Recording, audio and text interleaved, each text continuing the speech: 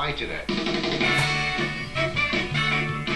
that's the price you pay for a walk-off hit with the Yankees this year.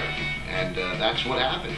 And it seemed like it was somebody different every single time, and A.J. Burnett was the ringleader with that.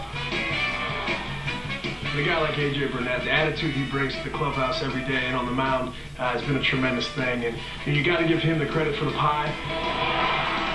You know, the pie's in the face. I have no problem with it because it only happens after we win. They, they knew AJ was coming, but they just didn't know from what direction. You guys really look forward to it.